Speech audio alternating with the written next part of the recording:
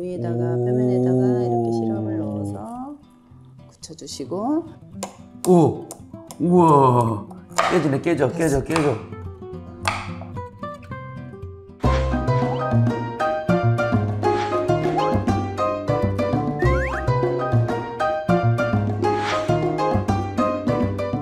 와요. 아, 졸려. 내 눈, 눈 차이잖아요. 아, 왜냐면 요새- 밥을 먹으면 디저트가 생각이 나거든요. 마치 그러면은 네. 오늘 크렘브렐레라는 디저트가 있어요. 크렘브렐레. 이 처진 눈이 네. 번쩍 띄어지게 해줄게.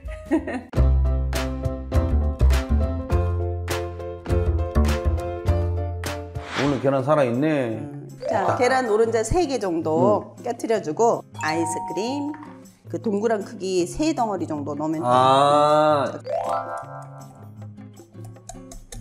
불을 아주 약한 불에 눈으로 확인하시고 넣어주시면 됩니다. 오. 살짝 커스터드 크림처럼 음. 걸쭉해질 때까지 해주시면 아, 됩니다. 일단 눌러보지 않, 않게 하는 게 좀 키포인트네. 그렇지. 계란이 완전히 익어버리면 안 되고 걸쭉해지면은 음. 다 됐습니다. 여기 있습니다, 원장님. 네.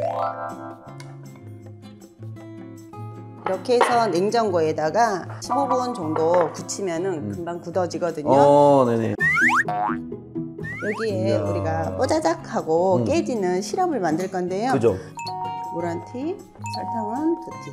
아, 물 한 티하고 설탕은 두 티. 예, 자, 시럽이 갈색 나게 끓여주기만 하면 됩니다. 아,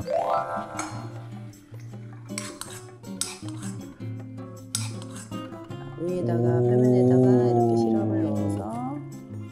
붙여주시고 이렇게 하면은 시간이 걸리고 닦는 것도 걸리잖아요. 음. 그래서 이제 간단하게 한쪽에는 설탕을 이렇게 어, 올려주고. 올려서 토치를 한번 토치는 이용해서. 제가 이제 공부 출신이잖아요. 아 진짜?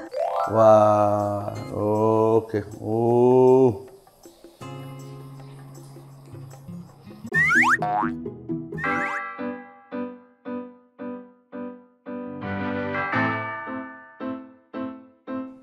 오, 우와. 깨지네, 깨져, 깨져, 깨져.